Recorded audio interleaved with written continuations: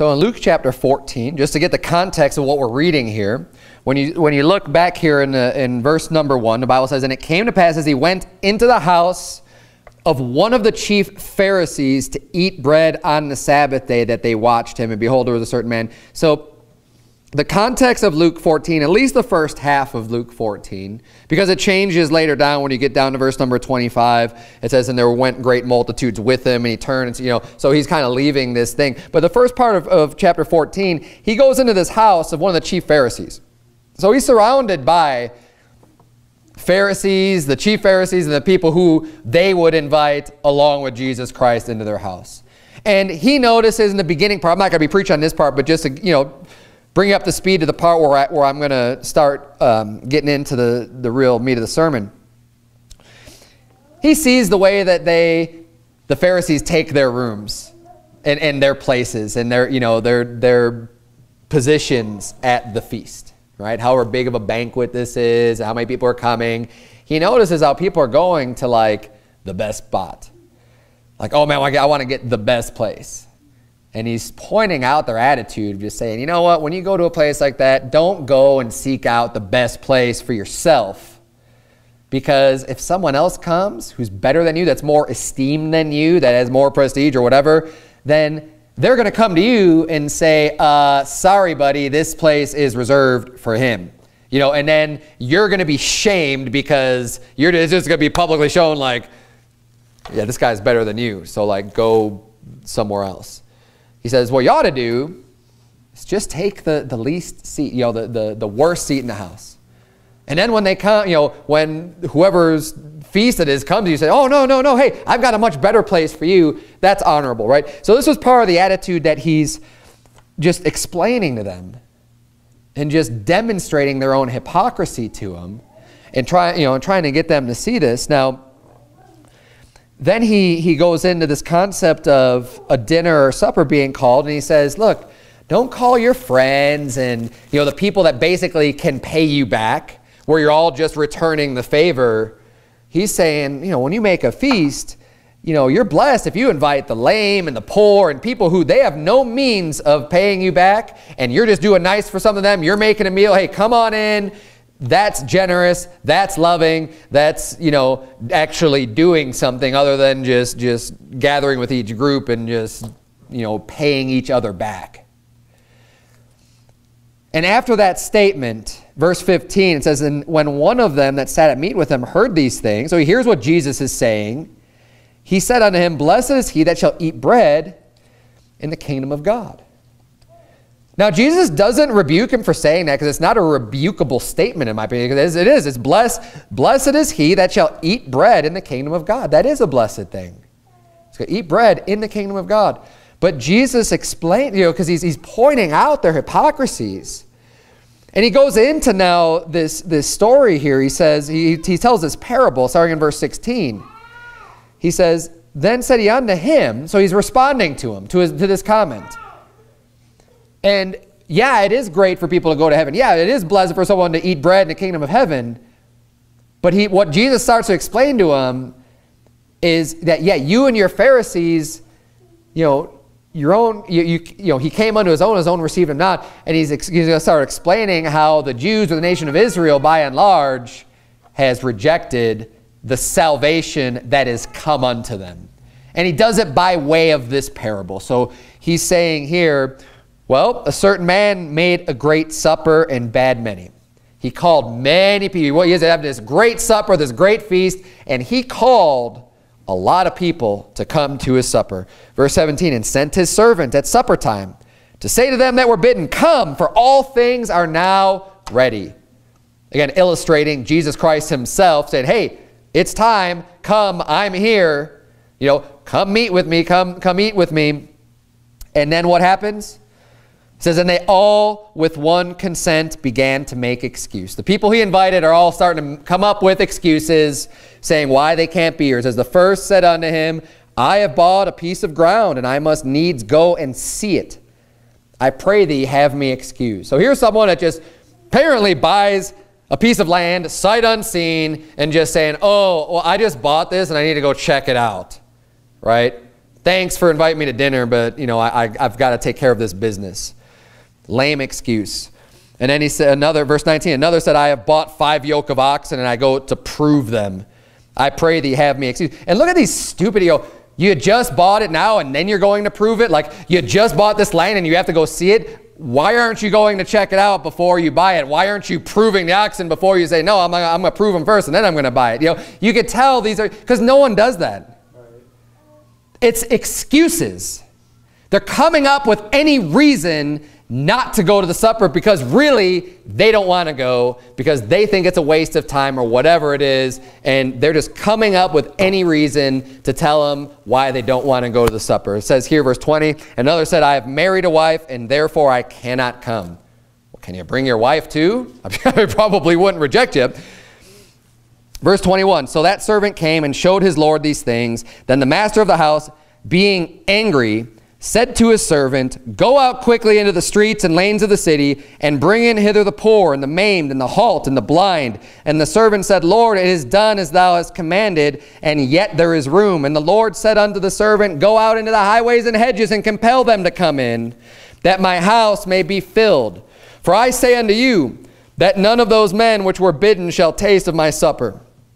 That's Jesus' response to the guy that says, you know, blessed is he that eateth bread in the kingdom of God thinking that they're all blessed because they're all going to heaven. And he's saying, you know what? Many are bidden to come to that feast, and many people are given excuses as to why they can't come, and, and obviously symbolically rejecting their invitation to the supper and their invitation to salvation. And I think this is talking about the Jews rejecting Jesus. You know, that is the primary uh, application of this parable. Amen.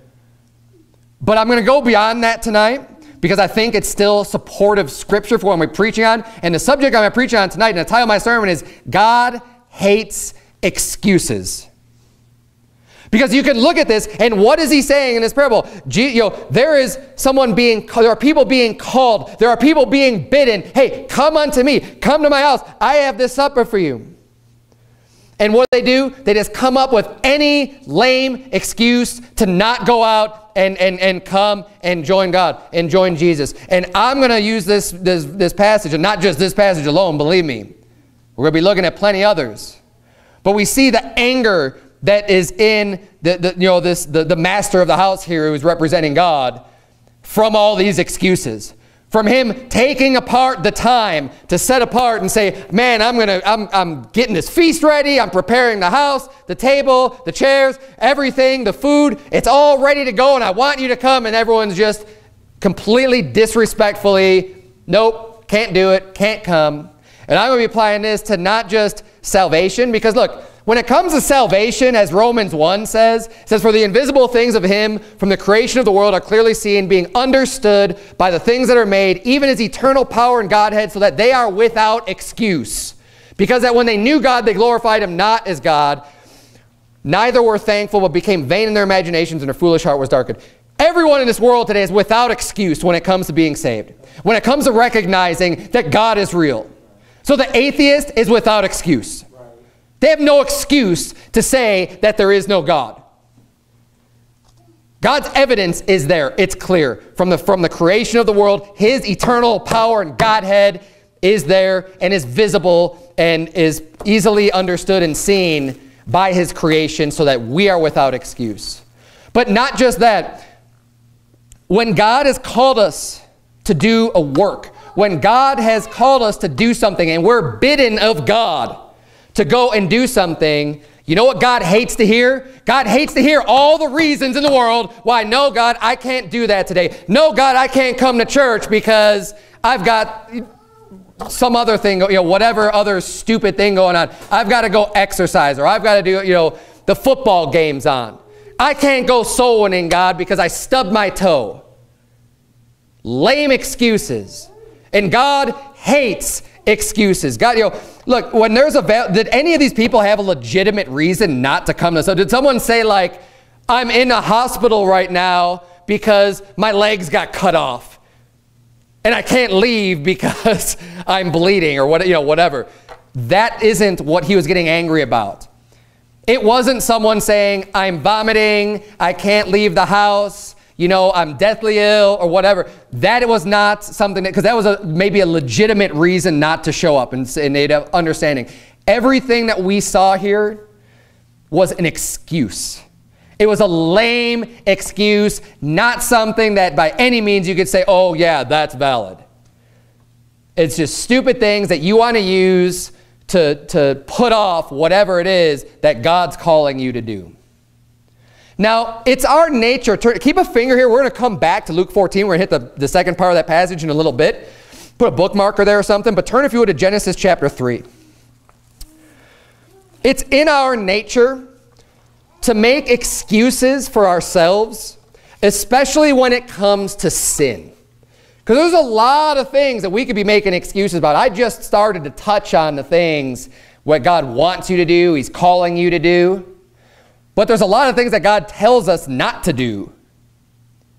Right? And we've got plenty of commandments in the Bible where God says, you know, thus saith the Lord, you know, thou shalt not kill, thou shalt not steal, you know, and you go through the whole list of commandments of things that we should not be doing. And you know what God does not want to hear when you break one of his commandments? Some lame excuse as to why you did what you did. Oh, well, you don't understand.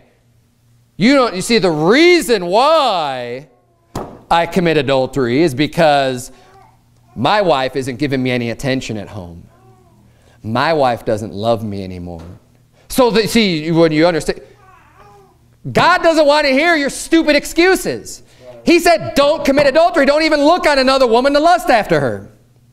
So what in the world are you thinking when you commit adultery? You can't justify yourself and make up some excuse as to why you're doing what you're doing. Now, as I said, it's human nature. It goes back to Adam and Eve in Genesis chapter 3. Look at verse number 9.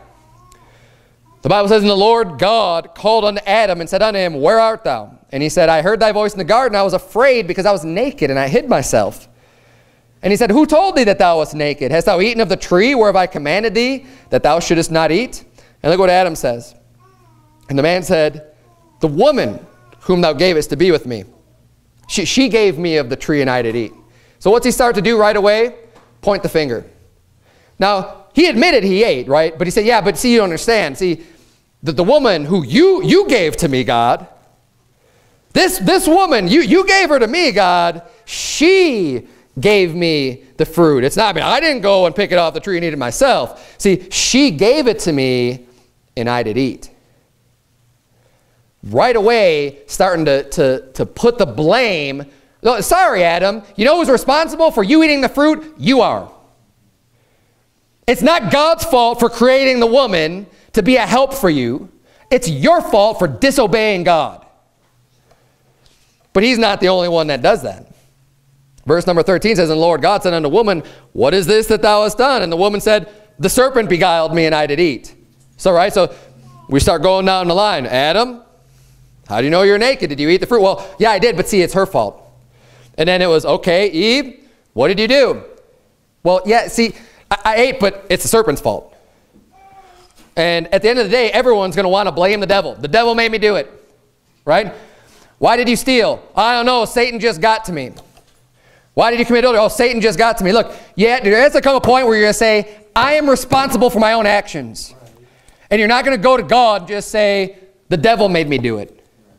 God doesn't want to hear your excuses. And in this story, did God accept their excuses at all? Nope. Not even one little bit. All three of them got punished because they all sinned. The serpent got punished because the serpent was beguiling and deceiving and lying about God's word and, and deceiving Eve into taking the fruit. Eve was punished because she disobeyed the commandment of God, straightforward commandment. She allowed herself to be deceived instead of just trusting in the Lord and trusting in his word and not doing it, no matter what anybody said. She transgressed, and then Adam, same thing. They're all held responsible for their own actions. And you know what God does not want to hear? He doesn't want to hear your excuses, your justifications for your sin, because there is no justification for sin. We need to be able to acknowledge our sin and take responsibility when we do wrong. And this is actually how we will receive mercy from God. God hates the stiff-necked attitude that refuses to acknowledge their sin. If you really want to make God angry, and that's why I said, you know, the, the title of the sermon is God hates excuses. Don't let that slip by you. That word hate is very important in this sermon. You need to understand how, how, how much God has displeasure, extreme hatred, displeasure for this type of an attitude, for, for an excuse-making attitude where nothing is ever your fault, but somehow you just constantly find yourself in sin.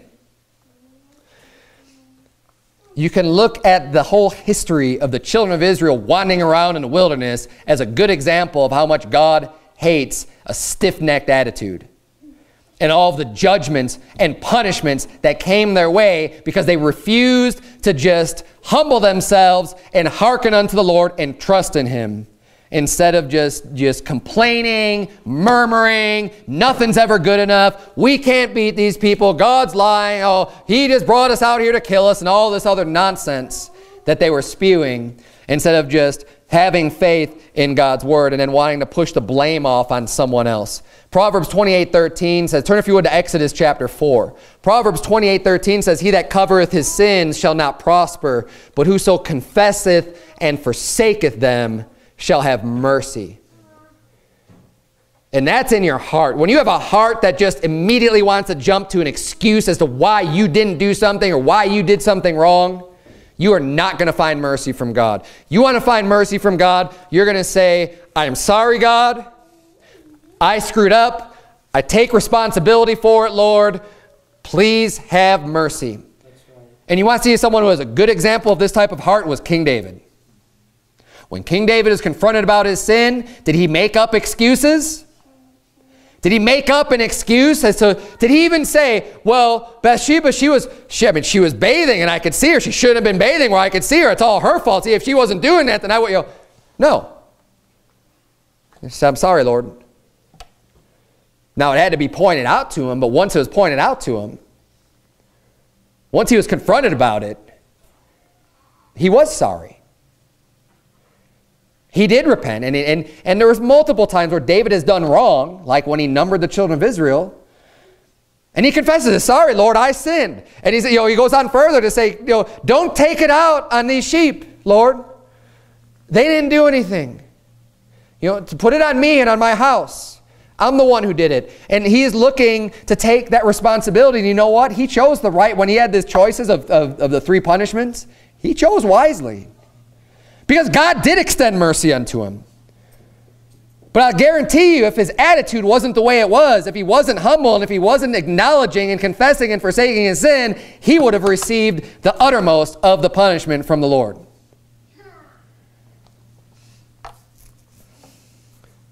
It's not always, though, breaking God's laws that we're making excuses for. That is the most common thing. In my opinion, I think it's the most common thing is we sin and we want to justify it. You learn that from little kids. From, I mean, not from them, but when you're a little child growing up, you don't have to learn that very much to start pushing the blame off on anyone and anything else than yourself. Because people just don't want to admit when they're wrong. It's not always making excuses for things when we're breaking God's laws and doing things that he told us not to do. But sometimes it's for not doing what he does want us to do where we're making up excuses. Here we're going to see in Exodus chapter 4, God gets angry at Moses for the excuses that he keeps coming up with on why he can't do what God's telling him to do. God called Moses. God bade Moses, if you will, to a supper, similar to that parable. God's calling on Moses to do a work for him to do a job for him. Look at verse number 1 of Exodus chapter 4.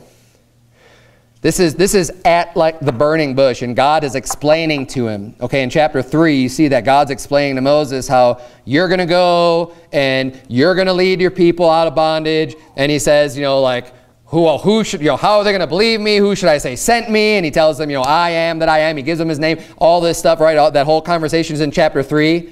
And now we're in chapter 4, and Moses is still kind of talking with God and just, you know, wrapping his whole mind around this and trying to figure out, like, what do you want me to do? And, um, and coming up with all the reasons he could come up with on how this plan's not going to work.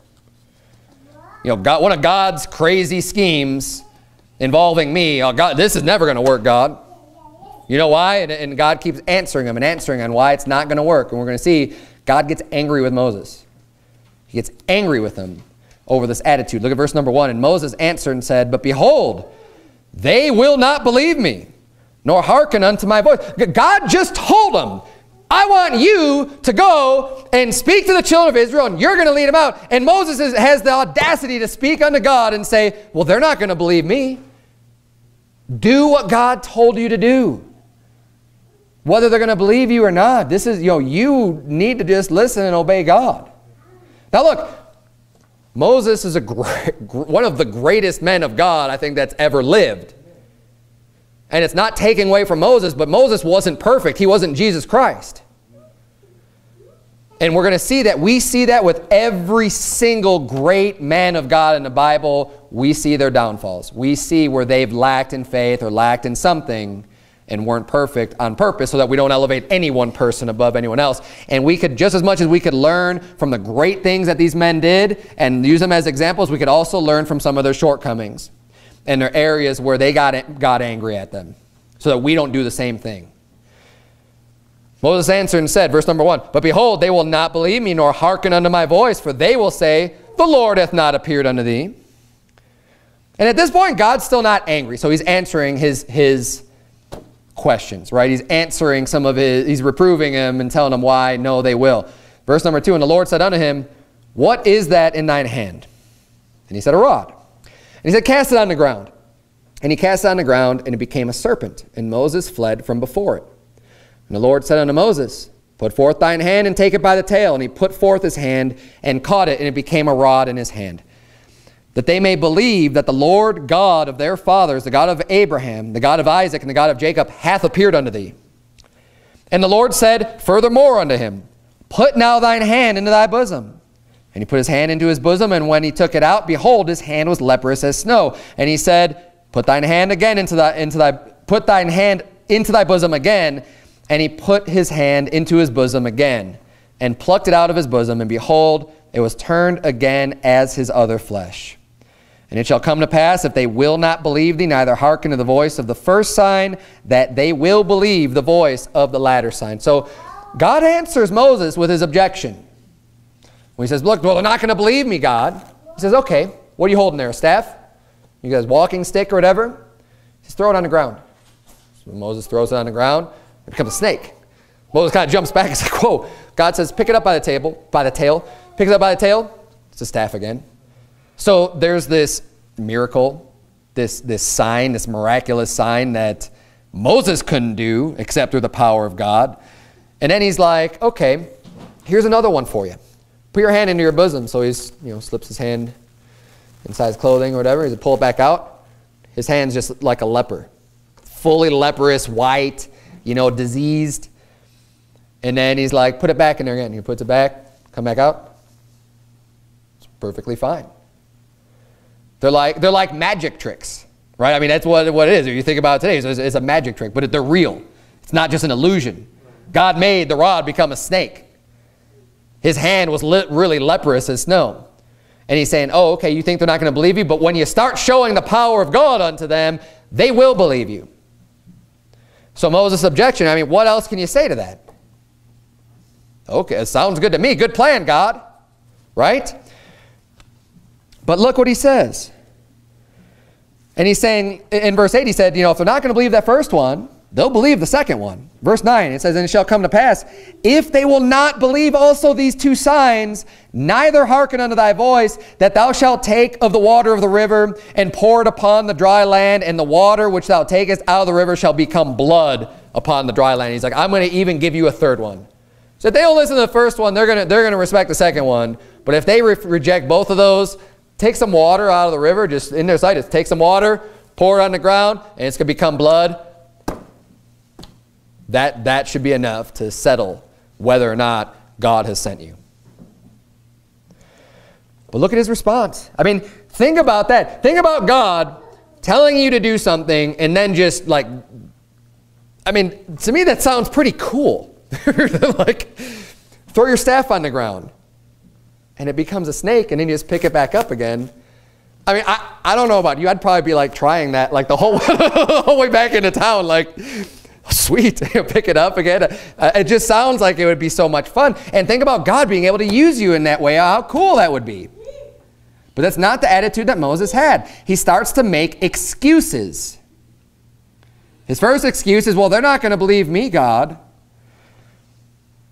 Look at verse number 10. And Moses said unto the Lord, O my Lord, I am not eloquent, neither heretofore, nor since thou hast spoken unto thy servant. But I am slow of speech and of a slow tongue. So now he's starting to change and saying, okay, well, maybe they'll believe me, but I'm not a really good speaker. I'm not a good public speaker. Now, I could really relate to this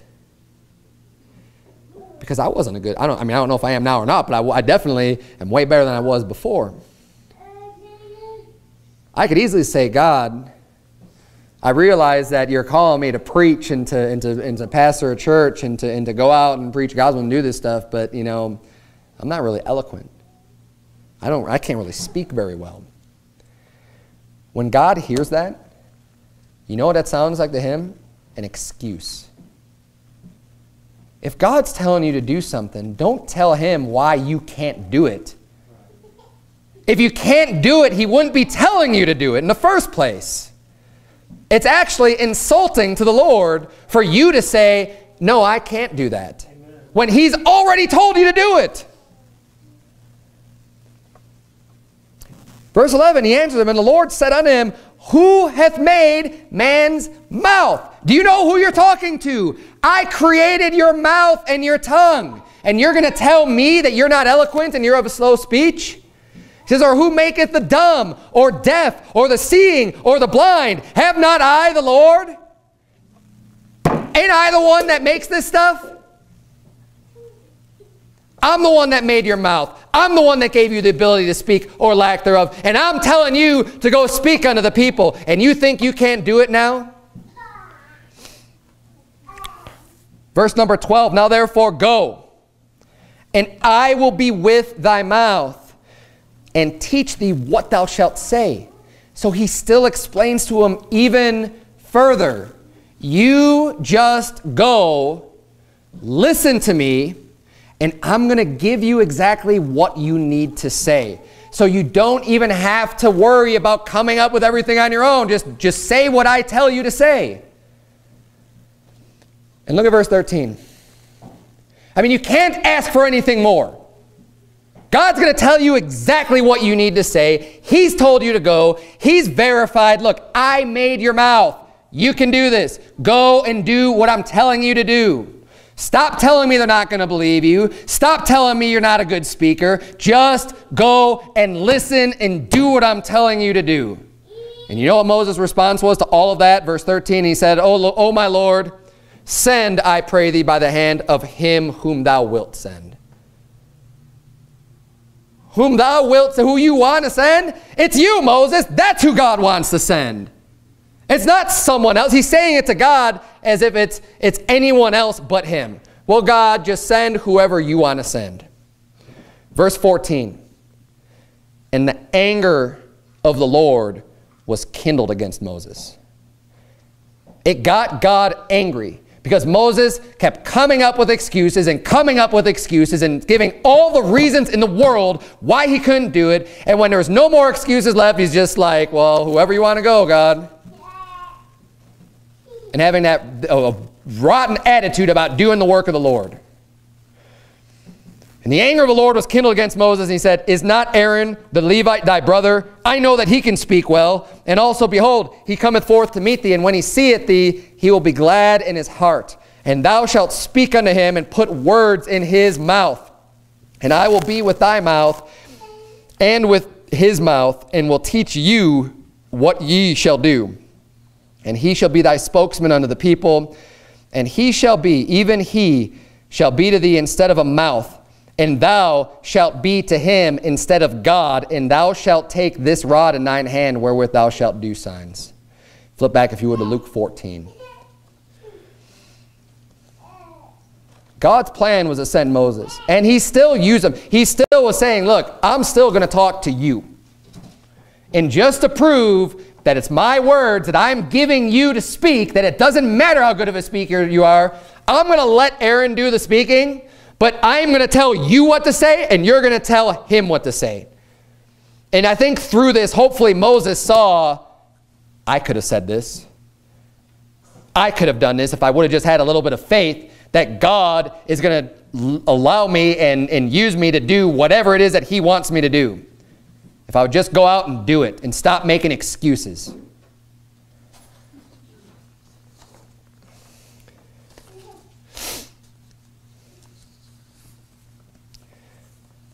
God was sending Moses with a message to children of Israel and to Pharaoh.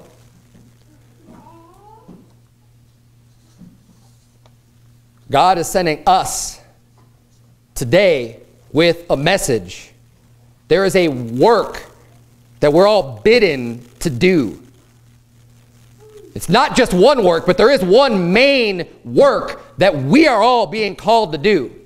If you're not going soul winning and preaching the gospel regularly, what is your excuse? How do you think God would react to your excuse? If he told you to go and preach the gospel to every creature and you responded with whatever your excuse is. Whatever it is that's holding you back. Imagine God standing there and saying, I want you to go and preach the gospel. And you respond with, Is God going to accept your response? Think about that. Because if he's, if he's not going to accept it, it's an excuse. If it's, Lord, I'm laying on my feet,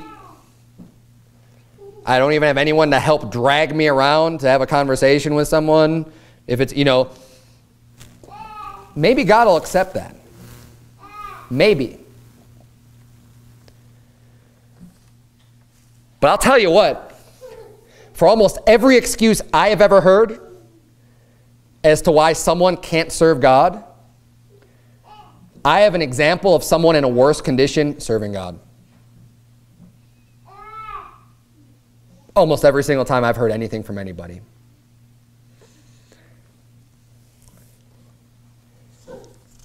It's, it's a little angering to hear people say, oh, I can't come to church or I can't go soul winning because I've got a pain in my back.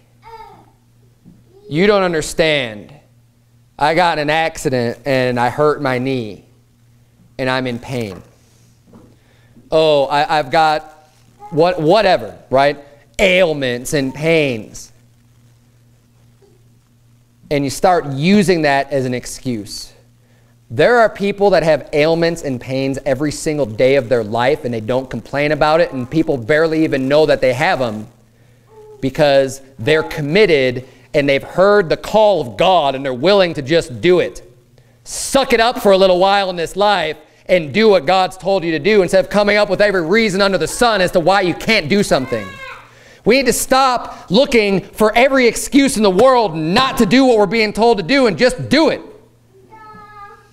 I know as someone who's had people under me, again, uh, you know, as, uh, continuing on like this morning, I was using work or the workplace as examples. When I've got someone that has a job to do, you know what I don't want to hear? All the reasons why you can't do something. My boss doesn't want to hear all the reasons why we, when he wants to get something done, he wants to get that done. And if you're going to give him every excuse under sun as to why we can't do it, you know what he's going to do? He's going to find someone else to get done what he wants done. And God is the same way. He had a great work for Israel to do and be the lighthouse of the gospel of Jesus Christ unto the whole world. But you know what? They came up with all kinds of excuses as to why they didn't want to accept it, why they didn't want to believe Jesus, why they didn't want to have anything to do with it. And you know what God did? God rejected them and said, fine, I'll use someone else. Fine, I'll find other servants to work in my vineyard and to bring forth the fruit thereof. And you know what? If you're hired to do that job and you're not going to do the work for him, guess what's going to happen? He's going to find someone else to do the work, but woe unto you. I'm not saying you're going to lose your salvation. We can't lose our salvation, but woe unto you. You're back in Luke 14. Jesus is still looking for disciples today. Notice I said the word disciple. Disciple is different than a believer. A believer is someone who's saved because they put their faith in the Lord Jesus Christ. A disciple is a follower of Jesus Christ. Not just someone who believes on him for their salvation, but someone who is willing to follow and work and do the things that Jesus has for you to do. That's a disciple. Someone who walks the walk, does the work. Look at verse number 25 in Luke 14. The Bible says, And there went great multitudes with him, and he turned and said unto them, If any man come to me and hate not his father and mother and wife and children and brethren and sisters, yea, in his own life also, he cannot be my disciple. Notice, it doesn't say he can't be saved. It says he can't be my disciple.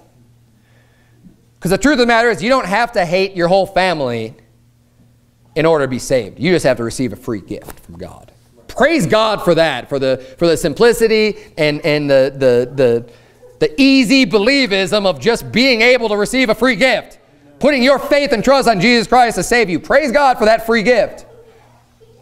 But what are you going to do with that gift?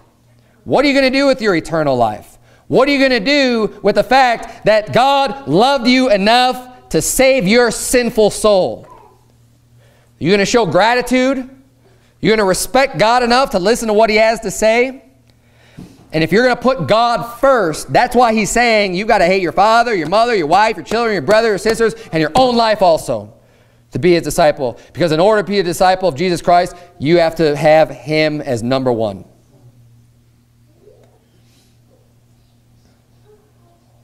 Verse 27, And whosoever doth not bear his cross and come after me, cannot be my disciple. Does bearing a cross sound like something that's fun to do? Think about this. Does coming to church three times a week sound like bearing a cross? Not even close. Does praying to God sound like bearing a cross? Are those things that we should be doing? Absolutely. But just because you're doing those things, does that mean you're a disciple of Jesus Christ? Nope. God's demanding more from us. It's not just this checklist of things that makes you a disciple of Jesus Christ. It's an attitude. It's what's in your heart. It's actually doing things and following through on those and that attitude and those and, and your belief in your heart that's going to make you a disciple of Jesus Christ. And you have to be willing to bear your cross and your burden and actually do something unpleasant and just go out and work. And I don't care if I'm tired. I don't care if I look. Jesus Christ got whipped and beaten and scourged and mocked before he had to carry his own cross. But everyone wants it so easy today, and everyone wants to make up so excuses. You know, I can't, I can't bear my cross because I sprained my ankle.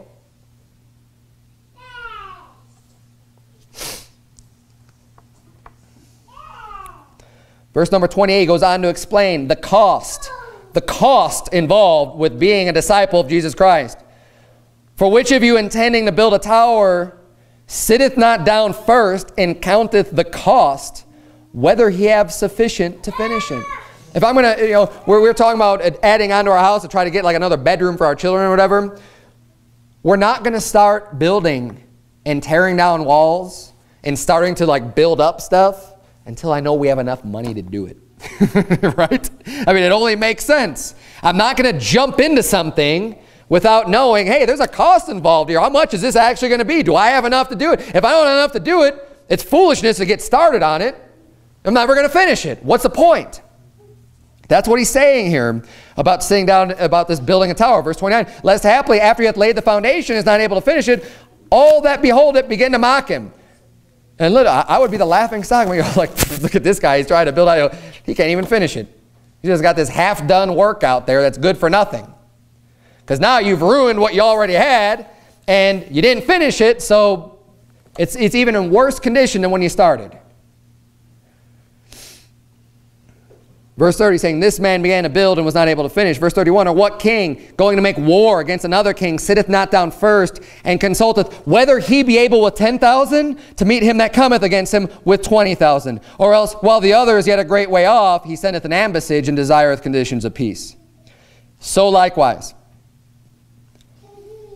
whosoever he be of you that forsaketh not all that he hath, he cannot be my disciples my disciple. You can't be worried and concerned about the things that you have when you go to serve God, when you go to serve Jesus, because He may be calling you and, and, and, having you being bidden to work really hard for Him. God likes workers. God wants people doing a lot of work for Him. We need to be willing to, if you want to be His disciple, Think about that. If you want to be his disciple, not everyone is. Look, if being a disciple was easy, everyone would be doing it. If going soul winning was easy, everyone would be doing it. How hot was it today? It was like 100 degrees. I mean, I don't know. Oh, it's too hot. It's too hot to go knock on doors. Hmm. I could have had that attitude. Brother Robert could have had that attitude. Oh, yeah, it's, it's really uncomfortable. Oh, man, we were, we were sweating, weren't we? Wow, can you imagine that? Can you actually imagine sweating when you're going to work? What a concept. You know what? Before we left, we made sure we had water. Because we knew it was hot outside. Not fooling ourselves. Of course it's hot outside. We're make sure that we're hydrated. There's a cost involved.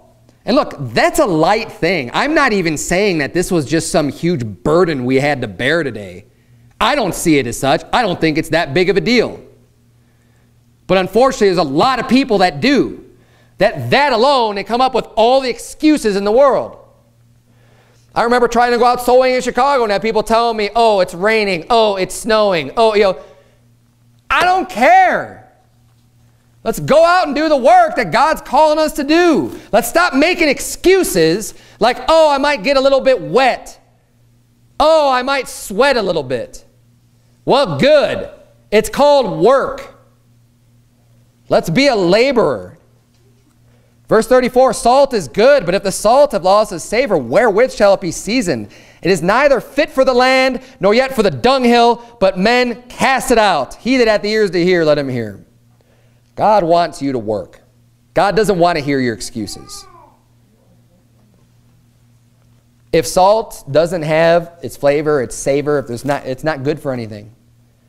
If you had a bunch of salt used for seasoning and there's no taste to it and it's not doing anything, is there any reason for it to cumber your table, to have it just sit on your table and never use it? It's good for nothing. What do you do? You're going to throw it away. If the job that God has for you, you're not doing it, we ought to have a godly fear and realize, you know what? God might just throw me away. And I'm not talking about going to hell. But just like the, the, the, the fig tree, or just like the, the tree's not producing fruit, look, God will work with you a little bit. He's going to try to prune those, those, those sinful branches off of you and get you to produce some fruit. But after a while, you're not producing any fruit. Well, what's the purpose then? If all you're going to do is just be an excuse tree, and that's all you produce is excuses, God's going to get sick of it after a while. He's not going to want to hear that anymore. There's a cost involved with being a disciple of Jesus Christ. Your salvation was free, but what are you going to do with that? Ephesians 2.10, of course, verses 8 and 9 says, For by grace are you saved through faith. And that not of yourselves, it is the gift of God, not of works, lest any man should boast. Of course, we say that all the time out soul winning. Because salvation is free, it's a gift, it's easy. But if uh, he follows that up with the freeness of salvation with verse number 10 that says, For we are his workmanship, created in Christ Jesus unto good works. That's why we were created. We were created unto good works, which God hath before ordained that we should walk in them. If you are not doing good works, you are not a disciple of Jesus Christ at all. Not even close. Let's not have the attitude of, oh, this is too hard. Or I don't know how you can expect me to do that. And instead have the attitude of, thank you, Lord, for committing such a great work to my trust. Please help me to have the right spirit and do a great work to your satisfaction.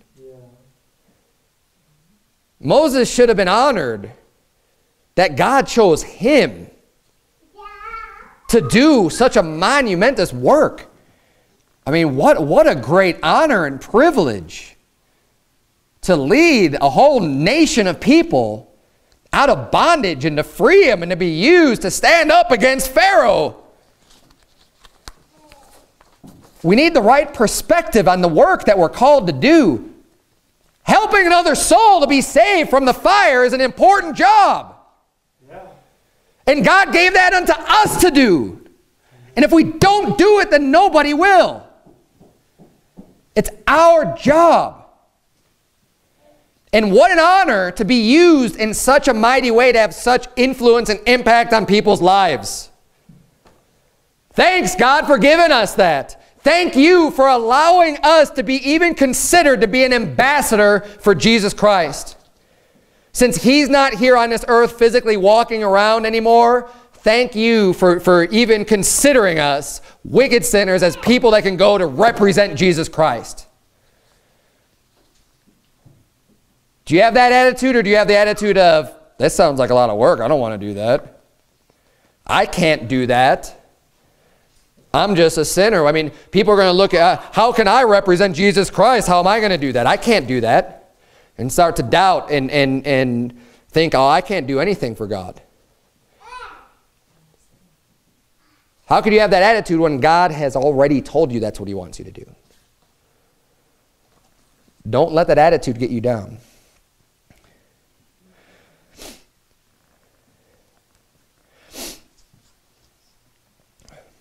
What do you think God's standards are for us individually? You think about you answer that question yourself in your mind. God's standards for you in this life. It's easy to get saved, but his standard for getting work done. What do you think is acceptable unto God? Turn if you would to Romans 12 while you're thinking about that.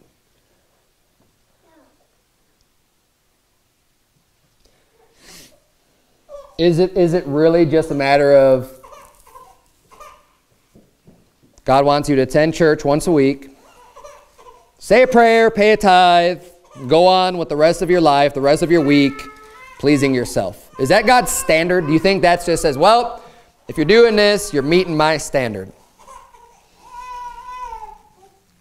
Go to church, say a prayer, pay a tithe, done. Man, I'm, I've met God's standard for, for how much work he wants me to do.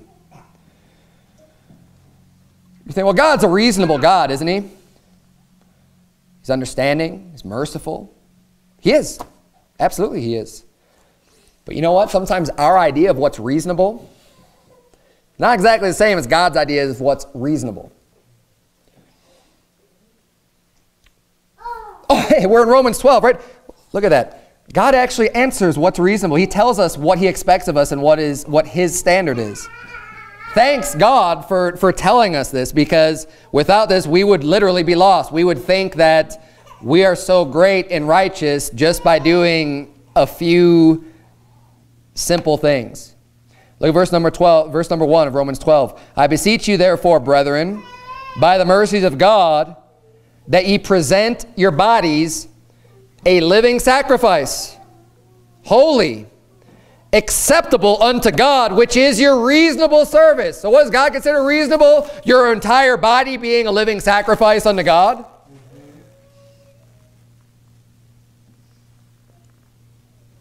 Pretty far off from what I was thinking is reasonable.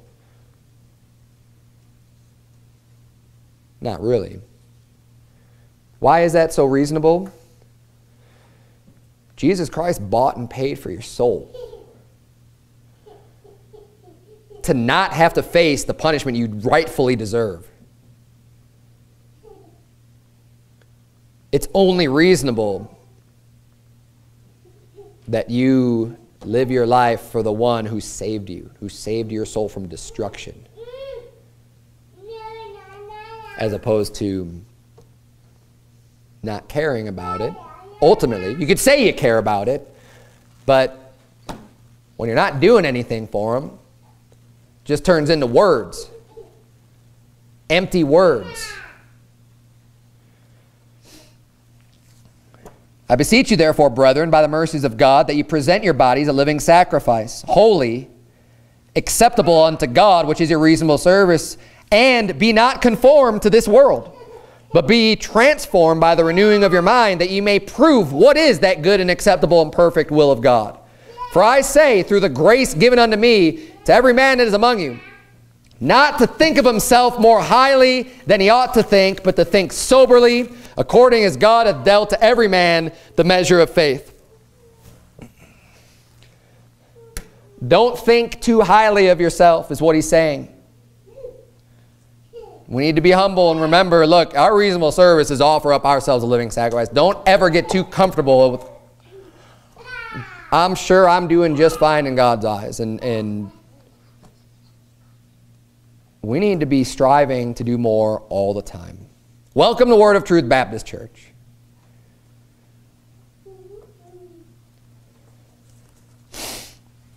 It's time to stop giving the reasons why you can't get something done and start figuring out how you will get something done. The mindset that always comes up with an excuse is never going to get anything done. You're just going to be jumping from excuse to excuse. It starts with the shift in your heart and in your mind. I thank God for the, the great examples that we have in the Bible demonstrating what people are capable of. Look at all of the works and all the great, wondrous things that people have done for God in the service of God and how they've spent their times and dedicated their lives unto doing things to just promote the glory of God's name and bring salvation to people. And I mean, we look at someone like the Apostle Paul and all the work that he did and the work that he put in and the, the, the, the, the multitudes of people that he reached. You could have one of two mindsets. You could come up with all the excuses as to why you can't be an Apostle Paul. All the excuses, all the re reasons, right? Why can't you reach a lot of people?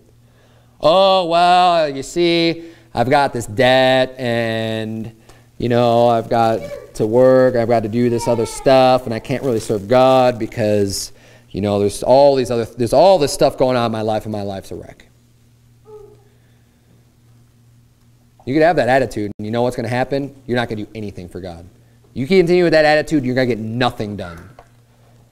And you know what? That attitude, you don't, you're not a disciple of Jesus Christ at all.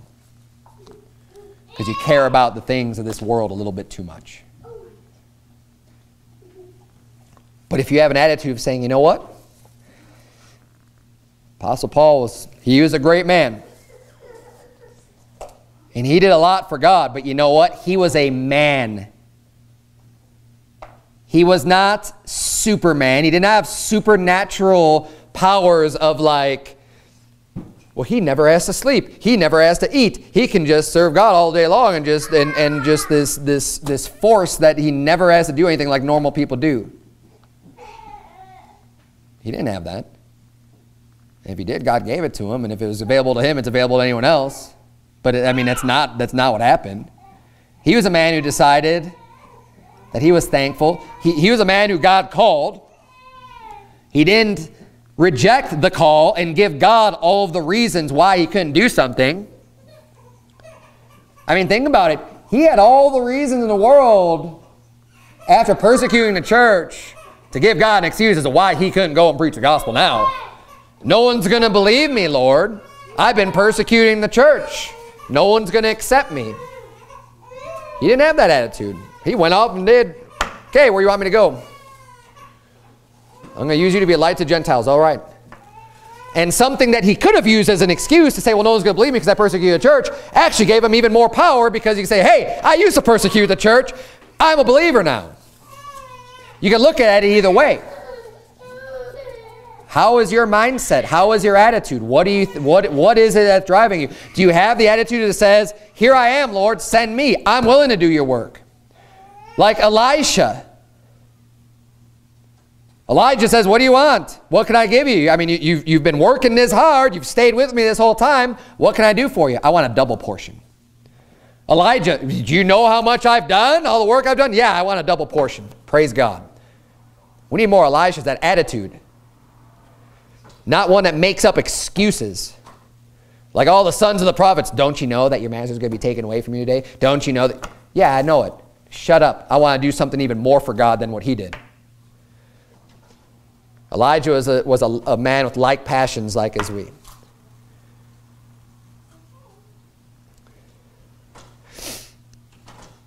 We need to figure out how we're going to get something done.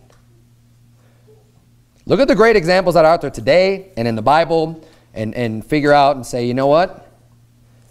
There is no reason why we can't do the same thing or more.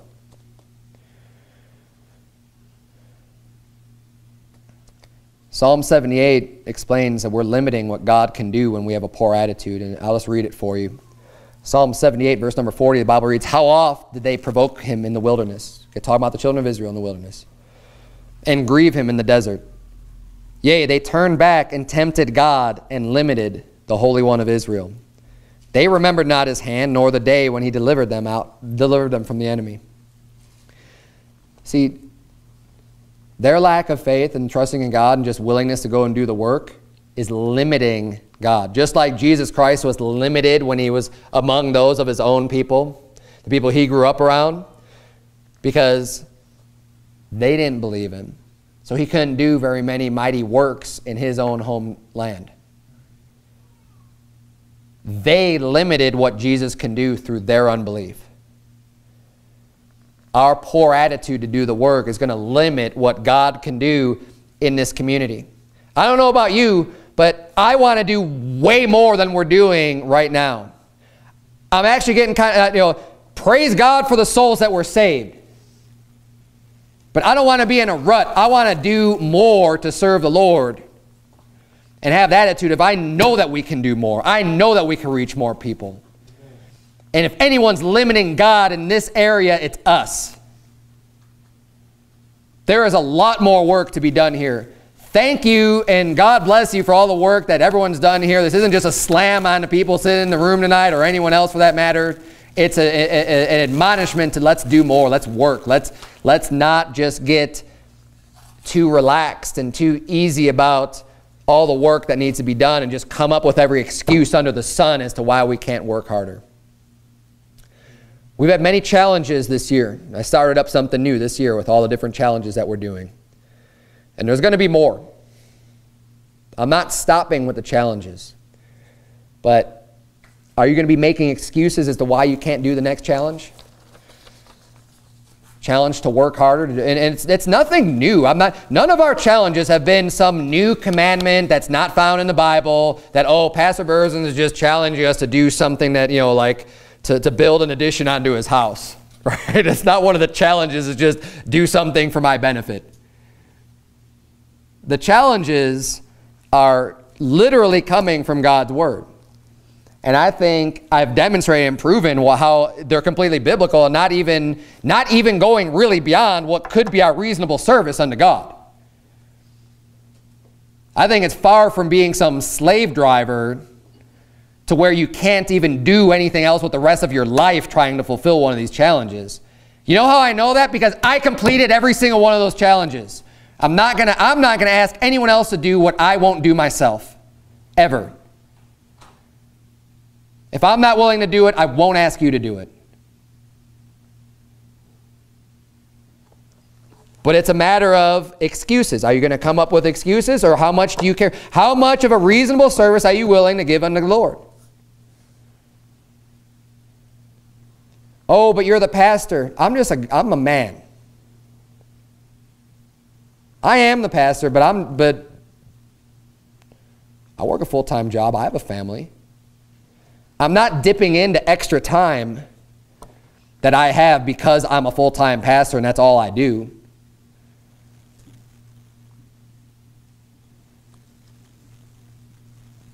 Let's lose the excuse mentality. Our life is short. It's like a vapor. it's going to be gone before you know it. And I know, I know, I know, I know. I say the same thing. Everyone says the same thing. And the older that you get, the more you realize how fast time really goes. Those of you that are younger, pay attention because you think you have all the time in the world. And as you start to get a little bit older, you realize the hours turn into days, days turn into weeks, weeks turn into months, months turn into years, and it meant years turn into decades, and before you know it, uh, I'm communicating with someone last night who was born the year I graduated high school. and that was really weird. How did that happen? It happens fast. Fast. Let's not waste this time. Yeah, you know what? It's going to be a little difficult. It's going to be hard. You might sweat. You might have to bear a cross. But it's nothing compared to eternity. Keep the right focus in mind. Let's have an attitude that is not just looking for every excuse, but looking to do every way how we can do what God wants us to do. Let's bow our heads and have a word of prayer. Dear Heavenly Father, Lord, we thank you so much for all the great examples we have in your word, dear Lord. I pray that you would please work in our hearts and our minds, dear Lord. And, and God, I, I, think we have a great church, Lord. And this is not a slam our church at all. You know the hearts and minds of our, of our church here, dear God. And we just ask that you would be able to use us even more, Lord. We, we're willing. And, um, and I believe that, that we're not to, no one here is going to want to make up excuses to not do uh, the work that you have for us, dear God. I know that I'm not. I want you to show us, help us, lead us, help us to, um, to, to understand the, the changes that we need to make in order to accomplish the great works that you have for us to do, dear God. I'm willing to offer up myself as a living sacrifice unto you, dear Lord, and, and um, it is totally reasonable for you to ask us to give our lives for you since you've already given your life for us, dear God. And I pray that you would please just help continue our church to grow and to, and to really do really do a great work. We, we're here, dear Lord. We're, send, send me, send us, dear God. We're here to do your will. And um, please teach us and guide us and, and strengthen us, dear Lord. In Jesus' name we pray. Amen.